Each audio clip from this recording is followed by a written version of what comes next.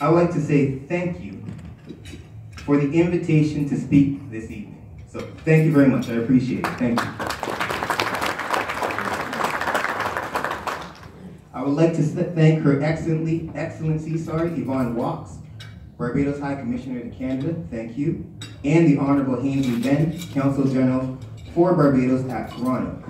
I would like to thank David Vaughn for the invitation, much appreciated, thank you very much, and all those of the Hamilton Association. And by sheer coincidence, I would like to thank my mother, who happens to be the MC. it has been a long time since I've been to an independence banquet. A very long time. And I think it's fitting that it happens to be the time I come back to be on Remembrance Day. I know the significance of this day is to remember those war veterans who fought for this country. But this evening, I would like to remember how I and we got here. I would like to remember what my parents and all those in this room did to get me where I am today. For those who are here in this room today, I would like to say thank you. For those who are not, let's all remember what they did for this organization, this community, Barbados, and this country we call Canada as immigrant ambassadors. And it's key why I want to introduce this history from my book. We were not supposed to be here. It's not water. We were not supposed to be educated. We were seen as property. And we are here now. We need to remember that. These are the pioneers that faced daily belts of racism, sexism, and discrimination to get us, me, to the point where I am now. So thank you.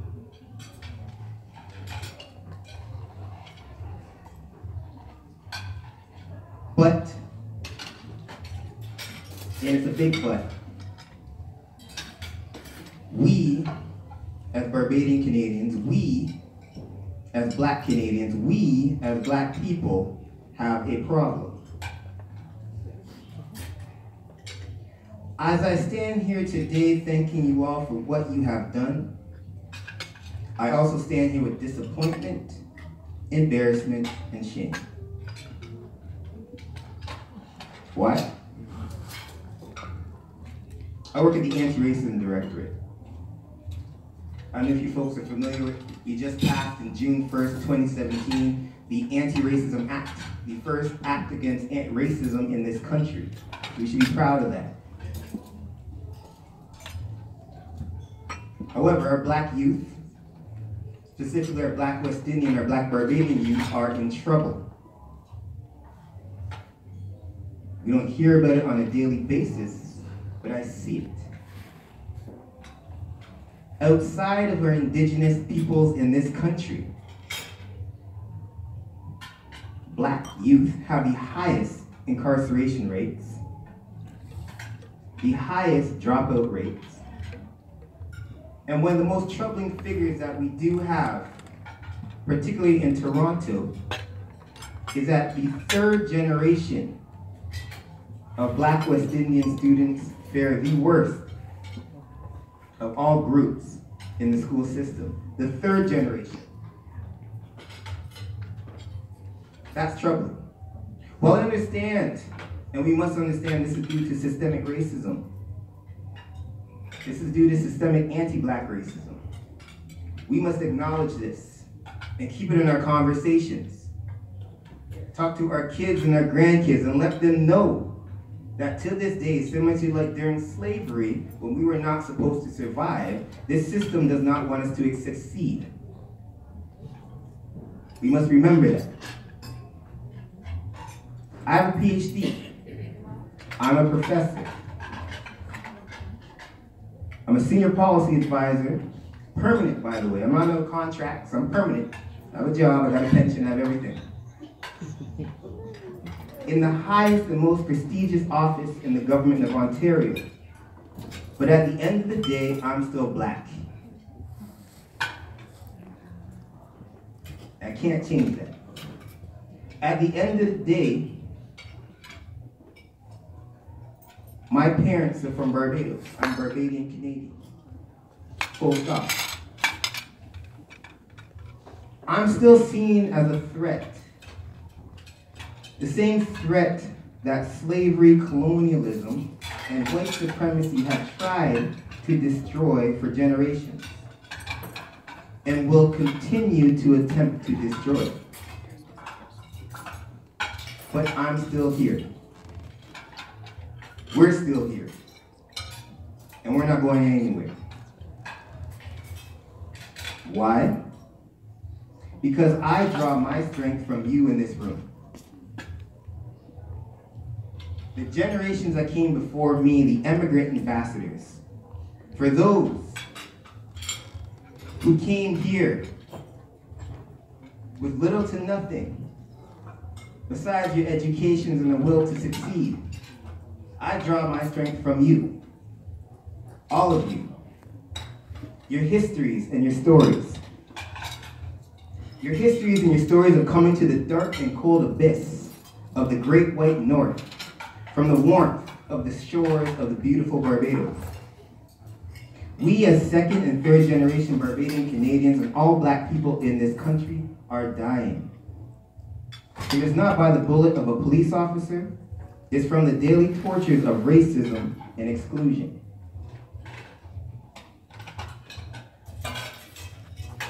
We are pleading for help. We are asking for change.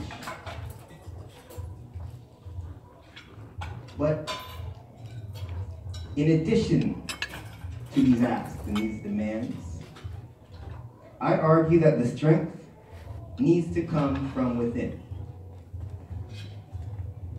It needs to come from people like you in this room. Those who fought to become the teachers, the nurses, the government workers, the bankers, the outstanding citizens of this country. We need that strength from you. But it has to come as a united collective.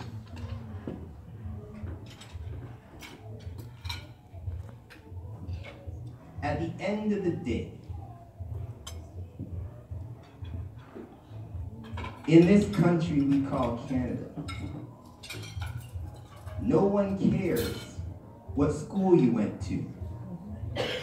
No one cares if you grew up in town or in the country. No one cares.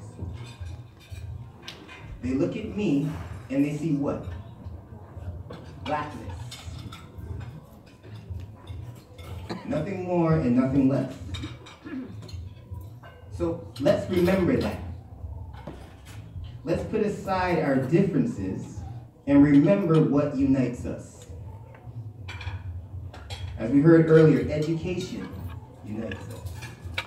Historically, currently, education has always been the key to prosperity in Barbados and Barbadians abroad. A sense of pride, a sense of industry unites us. So let's remember that. Let's remember what you did to get us here.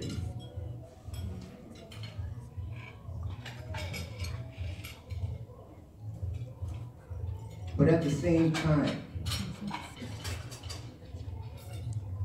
as we remember, it's our time. It's the second and the third and now the fourth generation, the children, the grandchildren, the great grandchildren. It is our time. It is our time to succeed. But that strength we need from you. You must tell us your stories. You must guide us. You must give us strength. We need that from you. So tonight, I challenge you, each and every one of you in this room, I challenge you to write down your stories. Put pen to paper, a voice to a recorder. I challenge you because we need to know.